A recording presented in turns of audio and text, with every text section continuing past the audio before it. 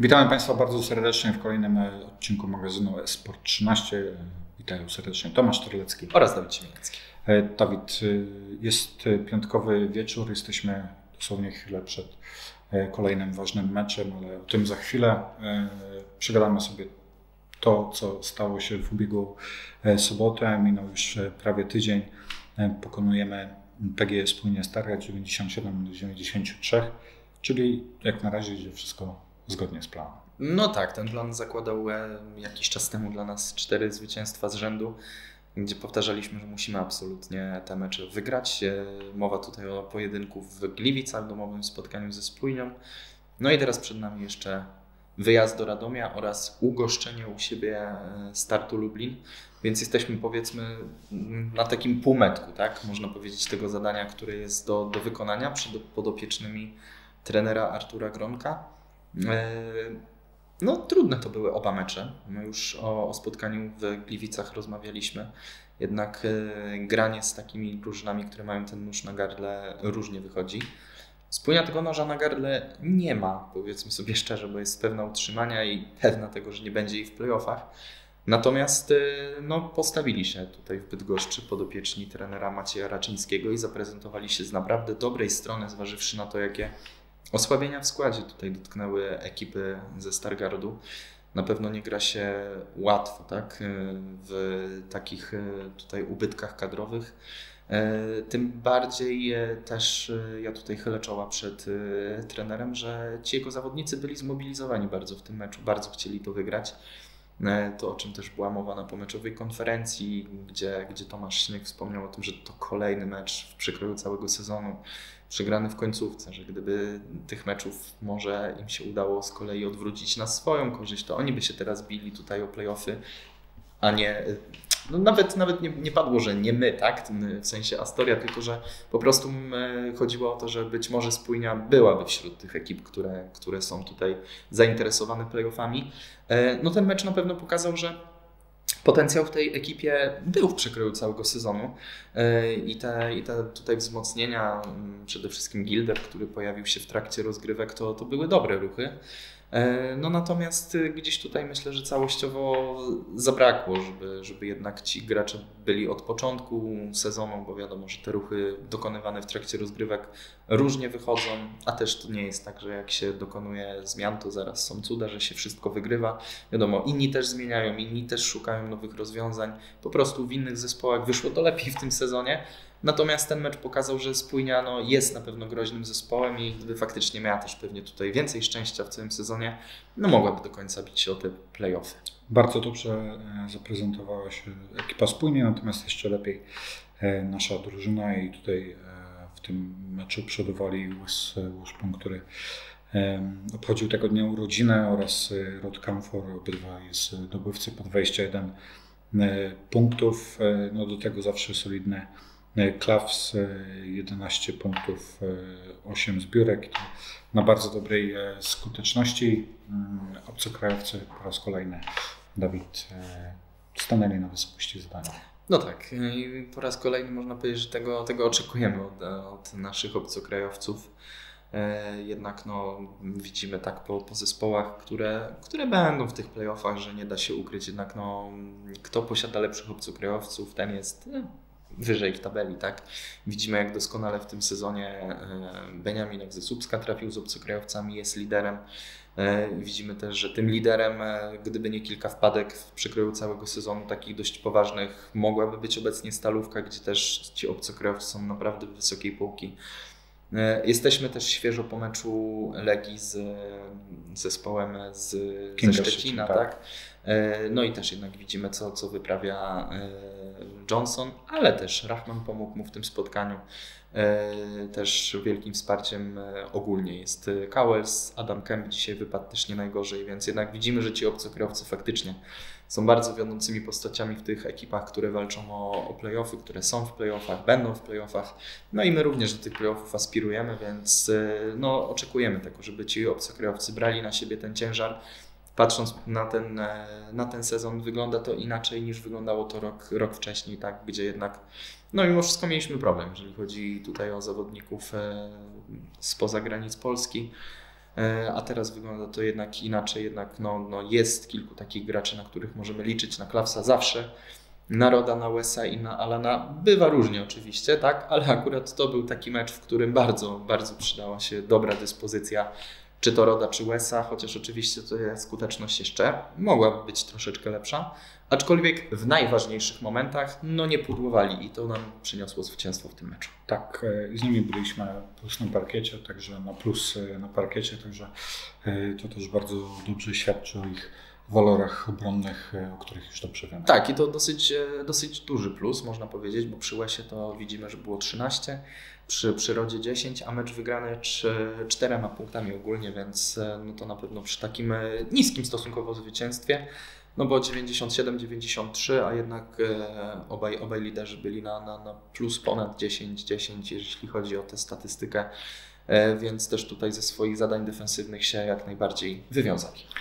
E, zadanie wykonane perfekcyjnie, no ale musimy bardzo szybko zapomnieć o tym meczu, bo mm, czeka nas kolejne ważne spotkanie, ale nim może do tego, Dawid, co może się wydarzyć w Radomiu, gdzie rozegramy spotkanie z tamtejszym hydrotrakiem, to e, na pewno nie uciekniemy od tematu tabeli, jak ona wygląda obecnie i jak to wygląda. Jesteśmy dosłownie kilkadziesiąt minut po zakończonym meczu pomiędzy Legią Warszawa Kingiem Szczecin, który no, ułożył się dosyć jednostronnie na korzyść legionistów.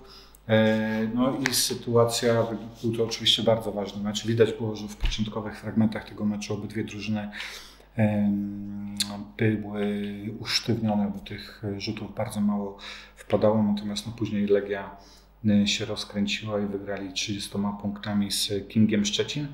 E, no, my musimy patrzeć na King Szczecin. To, co się stało jeszcze w tym tygodniu, to już odpadło z rywalizacji Tref Sopot, z którym i tak mieliśmy E, dodatni bilans, no ale ten King Szczecin cały czas do niego wracamy od pewnego momentu, w zasadzie od momentu, kiedy przygraliśmy tutaj z nimi u siebie w hali, bo siedzą nam na wątrobie i sytuacja wygląda mniej więcej w ten sposób na, na dzień dzisiejszej, chwilę obecną, że e, King ma rozegranych 28 spotkań, bilans jest 14 zwycięstw, 14 porażek. Natomiast my mamy tych spotkań 26, mamy 14-12. Zakładając to, o czym Dawid mówiliśmy kilka tygodni temu w naszym programie, że nadchodzą mecze, które absolutnie powinniśmy wygrać i później zobaczymy, co będzie dalej. Więc jesteśmy, tak jak wspomniałeś, w połowie tej drogi. Ja mam takie wrażenie, że mm, to jest taka dla nas matura próbna przed y, egzaminem dojrzałości. Y, I te dwa najbliższe spotkania, ogólnie to, co się będzie działo w tym najbliższym tygodniu, to będzie kluczowe dla tego sezonu. E, z czterech spotkań, które nam zostało, czyli Hydrotrak Radom na wyjeździe, Polski Cukier Pszczółka Start Lublin w czwartek u siebie o godzinie 19.30 e, i później mamy derby z Anwilem 10 w niedzielę o godzinie 17.30 i ostatni mecz 13 gramy z, ze Stalem Enea BC Zielona Góra w, na wyjeździe. Mm, Dawid y, jak e, inaczej, jak myślisz, jak nasz sztab szkoleniowy e, nastawia naszą drużynę, jak myślisz, co się może wydarzyć? Czy nie da się chyba nie patrzeć e, w tą tabelę, z drugiej strony chyba trzeba iść krok po kroku. Tak, to jest to, o czym kiedyś wspomniał trener Artur Gronek, że oni starają się iść oczywiście krok po kroku. E, wiadomo, cel jest długofalowy, no bo trzeba dążyć do, do wyznaczonych sobie przed, przed sezonem celów. Natomiast jeżeli by się od pierwszego meczu tak, w sezonie już myślało o playoffach, to można bardzo łatwo zatracić gdzieś to, co jest e, po drodze. Więc my zawsze też nagrywając każdy kolejny program mówimy o tym, że teraz celem wiadomo jest najbliższy przeciwnik, ale w dłuższej perspektywie no, musimy wygrać najbliższe cztery mecze. I e, teraz sytuacja jest dla nas e, dość, powiedziałbym, klarowna, bo naprawdę patrząc w tabelę, mamy absolutnie wszystko w swoich rękach i nogach. Mamy rywali dwóch, którzy są za nami w tabeli, dwóch, którzy są przed nami. To by dawało idealny remis. Natomiast idealny remis może nam jeszcze nie dać playoffów, no bo jeżeli tak się stanie, że King do końca wygra te swoje dwa mecze, a my osiągniemy... A gra z tak, a z zespołem z Torunia i z Gliwic, a my byśmy osiągnęli bilans 2-2, no to mamy idealny remis pomiędzy Kingiem i nami w tabeli. No i wówczas do playoffów wchodzi King, który wygrał dwa bezpośrednie pojedynki z nami, tak? Z tego w Bydgoszczy zdecydowanie. Więc no nie ma byłoby wtedy, to bolesne. Tak, byłoby to bolesne, ale no nie ma wtedy o czym mówić, tak? To, to byłoby jakby tutaj najbardziej też wprost mówiąc wywalczone przez ekipę Kinga. Natomiast po tej porażce w Warszawie sytuacja troszeczkę się zmieniła, bo też King e, po tym wygranym meczu z Treflem e, też e, stwierdził w swoich mediach społecznościowych, zresztą słusznie, że wszystko ma w swoich rękach.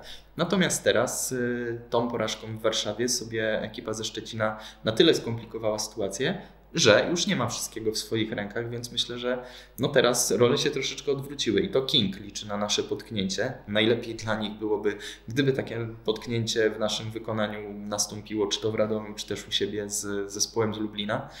Ale prawda jest taka, że patrząc y, przez, prze, przez pryzmat tego, dla nas na pewno jest to o tyle komfortowa, myślę, sytuacja, że jednak no, nie jest się już od nikogo zależnym. Oczywiście rywale nie są, nie są łatwi, tak? No bo widzimy wyraźnie, że jednak e, ta pszczółka Start Lublin troszeczkę się rozkręca. Może nie jest tego potwierdzeniem aktualnie, jak nagrywamy program trwający mecz z Ostrowem, gdzie widzieliśmy, że tam jest wysoka przewaga stali, ale stal teraz jest chyba poza zasięgiem każdej drużyny w tym momencie w lidze.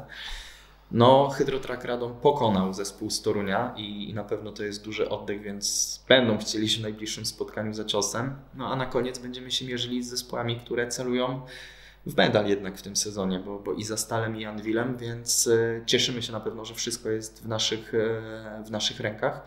No ale tej granicy błędu no, w dalszym ciągu po prostu nie ma. Tak ta liga jest zacięta w tym sezonie i, i tak wyrównana i tak to na ten moment wygląda, mimo że już oczywiście możemy z naszej perspektywy cieszyć się, że odpadł już tref i gdzieś tutaj nie musimy się na to oglądać. O tyle, no jednak powiedzmy sobie szczerze, chyba liczyliśmy na to, że jednak tref no, postawi się mocniej Kingowi, bo jednak patrzyliśmy na to w, przez ten pryzmat, że z Treflem mamy dodatni bilans, tak? Więc gdyby oni jeszcze byli gdzieś siedzieli nam na karku w postaci jednego zwycięstwa mniej, to wiedzielibyśmy, że nawet jak się z nami zrównają, to nic to im nie daje, tak? Bo przegrali z nami dwa mecze. Scenariuszy było bardzo dużo, tak, bo do tej gry jeszcze mogła się włączyć tutaj Legia Warszawa, z którą też e, mamy dodatni bilans, no ale oni No oni już teraz odskakują, tak. tak? Więc w sumie z, naszego, z naszej też perspektywy ten dzisiejszy pojedynek e, Kinga i Legii był taki, że jedno rozstrzygnięcie będzie dla nas w jakimś tam e, kontekście dobre, ale i złe. I odwrotnie tak samo, tak? Bo gdyby Legia przegrała, to byśmy my siedzieli Legii na, na ogonie i mieli z nią ten dodatni bilans. Natomiast no, no King tutaj, e, gdyby, gdyby wygrał, no to już na pewno bardziej by nam e, odskakiwał. No także no tutaj trochę, jak to się kolokwialnie czasem mówi, wybór taki między dżumą a cholerą, tak? Brzydkie to jest powiedzenie, ale coś w tym oczywiście jest, tak? Jedno i drugie trochę nam e, dało oddechu, jedno i drugie też nam pokomplikowało sytuację. Więc no, no zobaczymy, jak to się wszystko rozstrzygnie w tych ostatnich kolejkach, ale tak jak wspomniałem, no na pewno myślę, że zawodnicy Artura Gronka mogą być na tyle powiedzmy gdzieś spokojni na ten moment, że już w tabelę tak spoglądać nie muszą. Oczywiście ona będzie w dalszym ciągu ważna, ale jak będą wygrywać to, co mają wygrywać, a mają wszystko w swoich rękach, no to już nie będzie się trzeba na rywali oglądać. Tak jest. Y, to tak tylko rozjaśniając i nie patrząc na to, co zrobi Kinka, nawet zakładając, że wygrają te dwa ostatnie spotkania, no to my musimy wygrać, wygrać trzy, trzy z tak. tych czterech i wtedy na pewno będziemy w najlepszej ósemce y, w kraju. I, i na, to, na to czekamy. Dawid, y, ale żeby to się stało, jedziemy do Radomia, musimy tam pokonać Hydrotrak. Zacznę może od tego, czy wiemy, jak wygląda sytuacja w tabeli na samym dole. Mm, obecnie cztery zwycięstwa najmniej ma Gliwice, natomiast y, to jedno zwycięstwo więcej y, wywalczone wczoraj z drużyną, z wczoraj czy też przedwczoraj, z drużyną z Torunia na pewno bardzo cenne. Mm, Dawid, czy to dobrze, czy źle dla nas? Bo troszeczkę coś pewnie pękło. To znaczy powiem Tobie, że właśnie w tego typu meczach, gdzie, gdzie zespoły walczą o, o życie, e, to trudno naprawdę mówić, co jest e, lepsze, co złe. Bo to w dalszym ciągu Hydrotrak nie jest jeszcze niczego pewien, bo musi sobie zdawać sprawę, że bezpośredni bilans z Gliwicami ma e, słabszy. Czyli jest jednak ten punkcik w tabeli wyżej, ale jeżeli powinie mu się noga, a GTK to wykorzysta, to znów zespoły się zrównują bilansem i wówczas to premiuje ekipę z Gliwic. Więc y, myślę, że GTK na pewno jest, y, przepraszam, Hydrotrak na pewno jest spokojniejszą ekipą w tym momencie, bo już teraz też wiedzą, że wszystko jest y, w ich rękach, no ale jednak no, mierzą się z zespołami w dalszym ciągu, które są nad nimi w tabeli, które czy to walczą o, o playoffy, tak jak na przykład my. Jednocześnie też tutaj gdzieś na pewno myślę, że zadziałać może taki aspekt psychologiczny, że w końcu nadeszło to długo oczekiwane przełamanie, że pokazali ekipie, która będzie w playoffach, być może i osłabionej, bo wiemy, że, że Torun nie zagrał w pełnym zestawieniu. Tym niemniej jednak podjęli rękawice z zespołem, który będzie w playoffach, który będzie się ostatecznie bił o, o medale w tym sezonie. No i pokazali, że, że są w stanie naprawdę walczyć. Być może nie z każdym w tej lidze, ale jednak y, na pewno nie są, y, nie są ekipą y, taką, powiedzmy sobie szczerze, chłopcami do picia, bo pokazali to w tym spotkaniu. E, też obcokrajowcy tam odgrywają bardzo ważną rolę w tym najnowszy nabytek, którego udało się jeszcze pozyskać przed zamknięciem okienka transferowego. No i kto wie, czy ten transfer last minute y, Davisa nie okaże się tutaj no, takim gwoździem do trumny ekipy GTK, więc na pewno trzeba się obawiać tego, że, że może Hydrotrak pójść e, za ciosem i, i postawić bardzo mocne warunki. Ale my też musimy mieć w pamięci te dwa ostatnie mecze, które nie były łatwe. Tak jak wspominaliśmy wielokrotnie, że te mecze do końca już łatwe nie będą, ale jednocześnie no, walcząc o playoffy musimy tę presję po prostu dźwigać co mecz. E, Dawid, e, dwie rzeczy. Wspomniałeś o Majku Davisie. On rozegrał cztery spotkania prawie 19 punktów na mecz, więc na pewno bardzo trafiony transfer. E, na 27 spotkań wygrali tylko 5, z czego dwa w domu. Więc no, paradoksalnie na wyjeździe czują się ciut lepiej. Mm, Dawid, wspomniałem o Majku Davisie, ale za organizację gry E, odpowiedzialny jest Antony Ireland, e, zdobywa prawie 15 punktów na mecz, ma różne spotkania. E, Mike Moore, który mi się osobiście bardzo podoba, ten zawodnik, też daje dużo energii, jest, ma taki dosyć solidny sezon, jak patrząc na swoje statystyki, na jego statystyki i Danilo Stoisz, to jest chyba taki też dobry, dobry gracz, na którego będzie trzeba na pewno e, uważać. Z tego co pamiętam, w tym pierwszym spotkaniu tutaj chyba Ostojicz z nami jednak nie zagrał.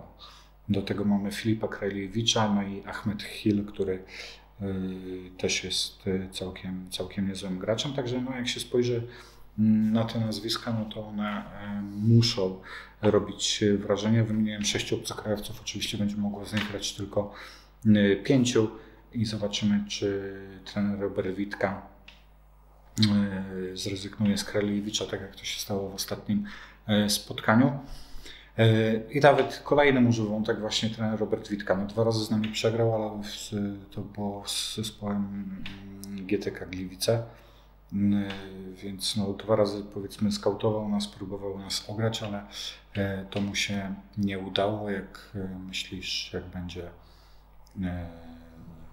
tym razem? No na pewno jest e, doświadczony i bogatszy o te dwa scoutingi, które już przeprowadził przed meczami z nami w tym sezonie. Nie wyszło mu to dobrze, tak? powiedzmy, sobie, powiedzmy sobie to wprost.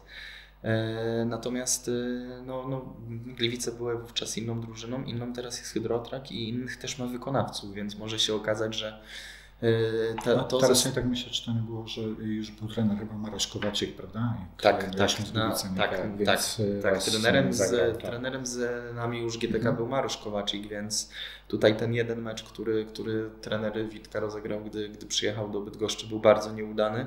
Natomiast no, no, w tym drugim podejściu, które teraz czeka go w niedzielę, no to tak jak wspomniałem, innych ma już wykonawców, inaczej być może będzie w stanie ich e, po prostu przygotować na, na rywala takim, jakim będziemy my. E, I też na pewno no, wymieniłeś samych obcokrajowców. No, no nie jest to zaskoczenie, bo, bo, Polacy, którzy są w hydrotraku, no jednak nie są aż tak ważnymi postaciami jak. No to jest marginalna rola. Tak, tak to jest jednak, to, to tak. są jednak zawodnicy, którzy gdzieś tutaj są oczywiście ważnymi postaciami, jak czy to Zegzuła, czy, czy Lewandowski. No natomiast nie są pierwszoplanowymi postaciami na pewno. E, I może się okazać, że zrezygnuje faktycznie trener Robert Witka z Filipa Kraliewicza, co ostatnio przyniosło mu triumf nad ekipą z Torunia. Mm, bo jednak y, akcenty w naszym zespole też są wyraźnie przeniesione jednak na obwód. Więc być może zważywszy na to, że oczywiście naszym liderem tutaj w strefie podkoszowej jest y, Klaus Kawars, to za niego będzie odpowiadał Danilo Ostoić. Tak. Natomiast jednak gdzieś tutaj może trener y, Robert Witka chcieć po prostu wymęczyć też nasz obwód, tak? A wszyscy ci zawodnicy, których wymieniłeś, E, łącznie z Murem, który nie jest taką fałszywą trochę trójką, bo grywa dużo na czwórce, ale to podobnie jak nasz Mateusz Zemski, tak? Więc tutaj ci gracze mogą gdzieś tutaj się ze sobą stykać na parkiecie.